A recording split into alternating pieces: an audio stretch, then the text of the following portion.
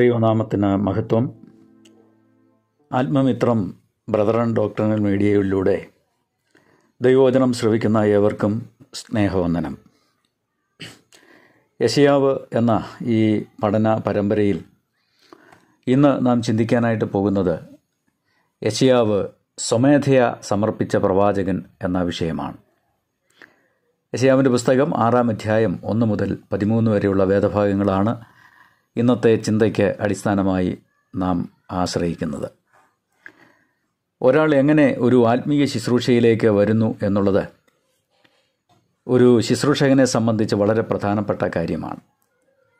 മറ്റ് ജോലികൾ കിട്ടാത്തതിനാലും കിട്ടിയ ജോലി പോകുമ്പോഴും ഇനി ഇതൊന്ന് പരീക്ഷിച്ച് നോക്കാം എന്ന് പറഞ്ഞ് ദൈവവേലയിലേക്ക് വരുന്നവരുണ്ട്.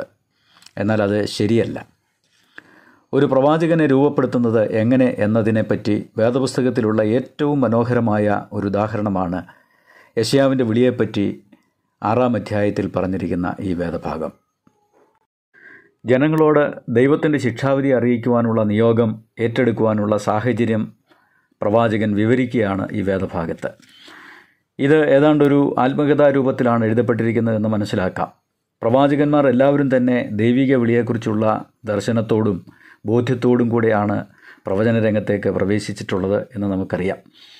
ചിലർ വളരെ അസാധാരണമായ ഒരുപക്ഷെ നാടകീയമായ ദർശനത്താലും മറ്റു ചിലർ സാധാരണ ജീവിത അനുഭവങ്ങളിൽ കൂടെയുമാണ് ദൈവവിളിയെക്കുറിച്ച് ബോധവാന്മാരാകുന്നത് എന്നുള്ളത് മാത്രമാണ് ഒരു വ്യത്യാസം. യശയാവിന്റെ ദൈവിക ദർശനത്തെക്കുറിച്ച് വ്യക്തമായും വളരെ സരളമായും ഈ ഭാഗത്ത് വർണി വർണിച്ചിട്ടുണ്ട്. തന്റെ അനുഭവത്തെ വളരെ സംശയരഹിതമായ രീതിയിലാണ് ഇവിടെ ചിത്രീകരിച്ചിരിക്കുന്നത്.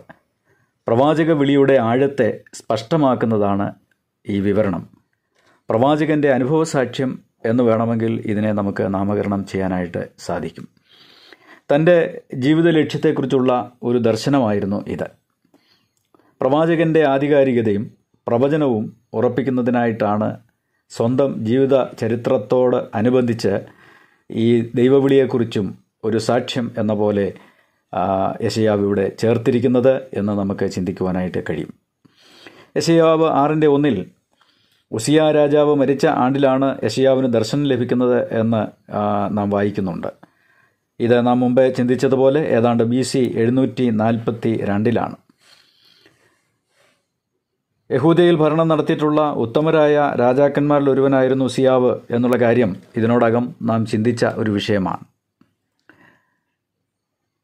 എന്നാൽ ദൈവസന്നിധിയിൽ താന് കുറ്റക്കാരനായിട്ട് തീരുകയും തന്റെ നീളം നിമിത്തം പുരോഹിതന്മാർ മാത്രം അനുഷ്ഠിക്കേണ്ടതായ ശുശ്രൂഷ താന് ഏറ്റെടുക്കുകയും ധൂപം കാട്ടുന്ന ശുശ്രൂഷ താൻ നിർവഹിച്ചതിനാൽ ദൈവശിക്ഷ തനിക്കുണ്ടാകുകയും ചെയ്തതായിട്ട് നാം വായിക്കുന്നുണ്ട്. അതിന്റെ ഫലമായി താന് തന്റെ ബാക്കിയുള്ള ആയുസ് മുഴുവൻ കുഷ്ഠരോഗിയായിട്ട് കഴിയേണ്ടതായിട്ട് വന്നു എന്ന് നമുക്ക് മനസ്സിലാക്കാനായിട്ട് കഴിയുന്നു. തന്റെ അന്ത്യസമയത്ത് നീളം കടന്നു വന്നുവെങ്കിലും അതുവരെ ഒരുവിധം നന്നായി ദൈവത്തെ സേവിച്ച ഒരു വ്യക്തിയായിരുന്നു ഉസിയാവ് എന്ന് നമുക്ക് കാണുവാനായിട്ട് കഴിയുന്നുണ്ട്. ഉസിയാവ് മരിച്ച ആണ്ടിൽ യുവാവായിരുന്ന യശയാവ് രാജ്യത്തിന്റെ ഭാവി ഓർത്തും ജനത്തിന്റെ അവസ്ഥയോർത്തും ചിന്തിച്ച് ഭാരപ്പെട്ട് ദൈവാലയത്തിൽ ചെന്ന് ധ്യാനിച്ചുകൊണ്ടിരിക്കുമ്പോഴാണ് തനിക്ക് ദൈവവിളി ഉണ്ടാകുന്നത് എന്ന കാര്യം നാം ചിന്തിക്കുകയുണ്ടായി. ഉസിയാവ് മരിച്ചെങ്കിലും ദൈവമാണ് സകലത്തെയും നിയന്ത്രിക്കുന്നതെന്നും അവൻ നിയന്ത്രണം ഏറ്റെടുത്തെന്നും ദൈവം യശയാവിനെ ബോധ്യപ്പെടുത്തുന്ന സംഭവങ്ങളാണ് പിന്നീട് ഉണ്ടായതായിട്ട് നമുക്ക് കാണുവാൻ കഴിയുന്നത്. കർത്താവ് ഉയർന്നും പൊങ്ങിയുമുള്ള സിംഹാസനത്തിൽ ഇരിക്കുന്നതായും അവന്റെ വസ്ത്രത്തിന്റെ വിളിമ്പുകൾ മന്ദിരത്തെ നിറച്ചിരിക്കുന്നതായിട്ടും താൻ കാണുന്നു. ദൈവത്തിന്റെ വിശുദ്ധിയിൽ ദൈവത്തെ അവന്റെ വിശുദ്ധിയിൽ ആരാധിക്കുന്ന സാറാഫുകളുടെ ദർശനവും യാഗപീഠത്തിൽ നിന്നും തീക്കനൽ കൊണ്ട് സാറാഫുകളിൽ ഒരുവൻ തന്റെ അധരത്തെ സ്പർശിക്കുന്നതായും ഒക്കെ നമുക്കവിടെ കാണുവാൻ കഴിയുന്നുണ്ട്. അങ്ങനെ ശുദ്ധീകരിക്കപ്പെട്ട ഒരു അനുഭവം യശയ്യാവിന് ഉണ്ടായി. അപ്പോൾ താന് ദൈവശബ്ദം കേൾക്കുവാനായിട്ട് ഇടയായി. ഞാൻ ആരെ അയക്കേണ്ടു? ആർ നമുക്ക് വേണ്ടി പോകും. യഥാർത്ഥത്തിൽ താൻ ശുദ്ധീകരിക്കപ്പെടുന്നത് വരെ ശുശ്രൂഷയ്ക്കായിട്ടുള്ള ഈ വിളി തനിക്ക് ലഭിച്ചിരുന്നില്ല എന്നുള്ളത് നമുക്ക് മനസ്സിലാക്കാനായിട്ട് കഴിയുന്നുണ്ട്. എന്നാൽ സാറാഫുകളുടെ ശബ്ദം കേട്ട് കഴിഞ്ഞപ്പോൾ യഹോവയായ ദൈവത്തിന്റെ ശബ്ദവും അവന് കേൾക്കാനായിട്ട് കഴിഞ്ഞു. ആർ നമുക്ക് വേണ്ടി പോകും? ഞാൻ ആരെ അയക്കേണ്ടു? ആ വാചകം അല്ലെങ്കിൽ ആ ആഹ്വാനം തനിക്ക് കേൾക്കുവാനായിട്ട് ഇടയായിത്തീർന്നു. ശുദ്ധീകരണ ശേഷം ദൗത്യവാഹകനാകുന്നതിനുള്ള യോഗ്യത ദൈവം അവനെ നിർബന്ധിച്ച് ഏൽപ്പിക്കുന്നില്ല എന്ന് നമുക്ക് കാണാൻ കഴിയുന്നുണ്ട്. പ്രവാചകന്റെ സമർപ്പണവും വ്യക്തമായ പ്രതികരണവും പ്രതീക്ഷിച്ചുകൊണ്ടാണ് ദൈവേഷ്ടം അറിയിക്കുന്നതും പ്രവാ പ്രവാചകൻ ദൈവേഷ്ടത്തിന് തന്നെ തന്നെ സമർപ്പിക്കുന്നതും. ശ്രേഷ്ഠരായ പ്രവാചകന്മാരെല്ലാവരും തന്നെ ദൈവിക വിളിയെക്കുറിച്ച് ഉത്ബോധമുള്ളവരായിരുന്നു എന്ന് നമുക്ക് മനസ്സിലാക്കാനായിട്ട് സാധിക്കുന്നുണ്ട്. അതിനുശേഷമാണ് അവർ ആ ശുശ്രൂഷ രംഗത്തേക്ക് കടന്നു വന്നിട്ടുള്ളത്. അവർ ദൈവത്തിന്റെ ആലോചന സഭയിൽ അംഗങ്ങളായിരുന്നു എന്ന ആശയത്തിലാണ് നമുക്ക് അവരെക്കുറിച്ച് മനസ്സിലാക്കുവാനായിട്ട് കഴിയുന്നത്. എന്ന് വെച്ചാൽ തന്റെ പ്രവാചകന്മാരോട് അറിയിക്കാതെ ദൈവം യാതൊന്നും ഈ ലോകത്തിൽ ചെയ്യുന്നില്ല എന്നുള്ള സൂചന പ്രവചന പുസ്തകങ്ങളിൽ നിന്ന് നമുക്ക് ലഭ്യമാണ്. ഇവിടെ യശയാ പ്രവാചകനും ആറ് നമുക്ക് വേണ്ടി പോകും എന്ന ശബ്ദം കേൾക്കുമ്പോൾ താൻ സ്വർഗീയ ദർശനത്താൽ ആകൃഷ്ടനായിട്ട് തീരുന്നത് നമുക്ക് കാണാനായിട്ട് സാധിക്കും. പ്രവാചക ദൗത്യത്തിന്റെ സ്വഭാവം അത് ശരിക്ക് താൻ അപ്പോൾ ഗ്രഹിച്ചിരുന്നില്ലെങ്കിലും ദൈവനാമത്തിൽ ആ ശുശ്രൂഷ ചെയ്യുവാനായിട്ട് താൻ സ്വയം സമർപ്പിക്കുന്നത് നമുക്ക് കാണുവാനായിട്ട് കഴിയും. ഇവിടെ പറയുന്ന ആർ നമുക്ക് വേണ്ടി പോകും ഞാൻ ആരെ അയക്കേണ്ടു? എന്ന ദൈവശബ്ദത്തെ സംബന്ധിച്ച് പലതരത്തിലുള്ള അഭിപ്രായങ്ങളുമുണ്ട്. ഇത് സ്വർഗത്തിലെ മാലാഖമാരെയും അവിടെ ദൈവസന്നിധിയിൽ ശുശ്രൂഷ ചെയ്യുന്നവരെ എല്ലാം ഉൾക്കൊണ്ടിച്ച് ഉൾക്കൊള്ളിച്ചുകൊണ്ടുള്ള ഒരു പരാമർശമാണ് എന്ന് ഉള്ള അഭിപ്രായമുണ്ട്.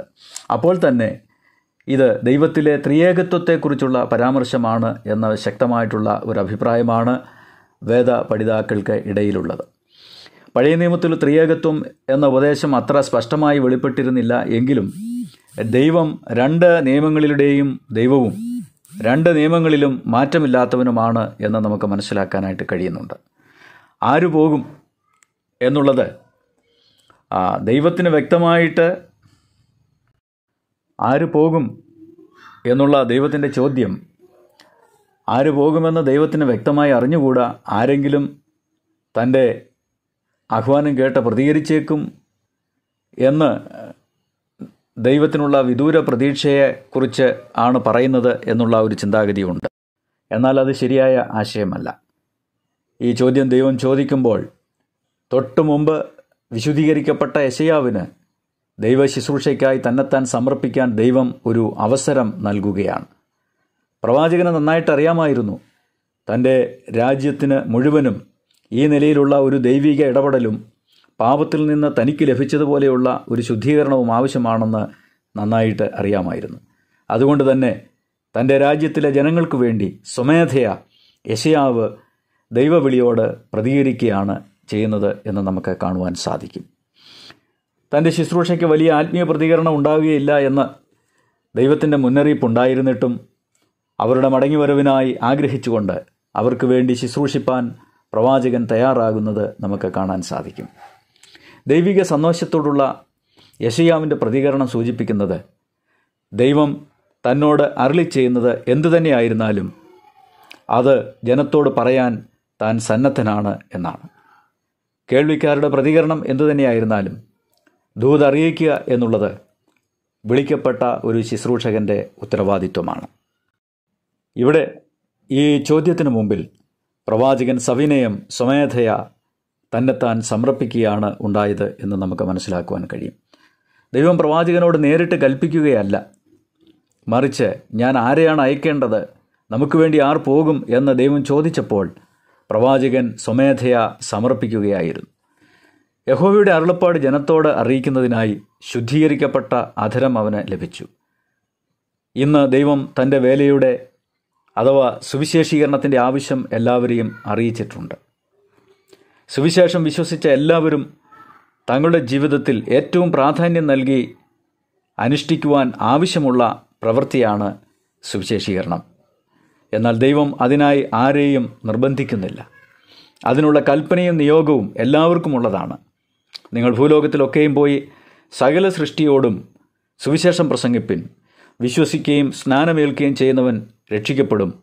വിശ്വസിക്കാത്തവൻ ശിക്ഷാവിധിയിൽ അകപ്പെടും എന്നുള്ളത് ദൈവത്തിന്റെ മാറ്റമില്ലാത്ത വചനമാണ്. സുവിശേഷ വേലയ്ക്കായിട്ടുള്ള ഒരു നിയോഗം കൂടെയുമാണ്. സുവിശേഷീകരണത്തിലെ ദൈവിക പദ്ധതി എന്നുള്ളത് സ്വമേധയ ഒരാൾ പോകുക അഥവാ ചെല്ലുക എന്നുള്ളതാണ് ഗോസ്പൽ എന്നാൽ ഗോ ആൻഡ് സ്പെൽ എന്നാണ് അർത്ഥം. അത് പോയി പറയേണ്ട വാർത്തയാണ്. അത് നാം ആയിരിക്കുന്നിടത്ത് ആളുകൾ വന്നു കേൾക്കേണ്ട വാർത്തയല്ല. അവരായിരിക്കുന്ന ഇടത്തേക്ക് നാം ചെന്ന് അറിയിക്കേണ്ട വാർത്തയാണ്. തിരുവഴുത്തിൽ നാം ഇങ്ങനെ വായിക്കുന്നുണ്ട്. ലൂക്കോസിന്റെ സുവിശേഷം പത്തൊൻപതാം അധ്യായം പത്താം വാക്യത്തിൽ. കാണാതെ പോയതിനെ തിരഞ്ഞു രക്ഷിപ്പാനാണ് മനുഷ്യപുത്രൻ വന്നത്. എന്ന് നാം വായിക്കുന്നുണ്ട്. അവിടെയുള്ള തിരഞ്ഞു രക്ഷിപ്പാൻ എന്നുള്ള പ്രയോഗം വളരെ ശ്രദ്ധേയമായ ഒന്ന് തന്നെയാണ്. പാപികൾ എവിടെയുണ്ടോ നഷ്ടപ്പെട്ടവർ എവിടെയാണോ അവരെ തേടി അവിടേക്ക് ചെല്ലുക. അതിന് നാം മനസ്സോടെ പോയേ മതിയാകും. ഞാൻ ആരെ അയക്കേണ്ടു?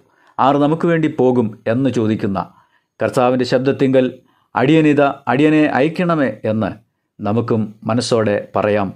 കർത്താവിന്റെ നാമം മഹത്വപ്പെടുമാറാകട്ടെ.